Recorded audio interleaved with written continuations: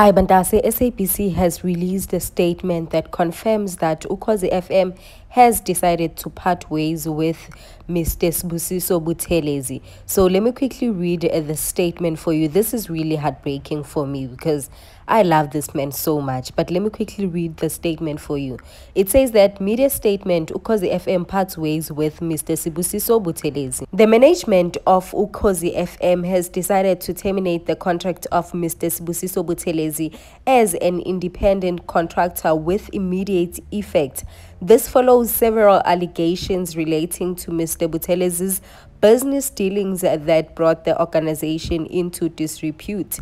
Ukhozi FM management wishes to confirm that the station does not in any way have any relationship with Mr. Buthelezi's private company Abombuso Investment. So yeah, Mtase, it is the end of the road for Mr. Buthelezi and you know uh Ukhozi FM. And yeah, there you have it. Please do leave it on the comment section.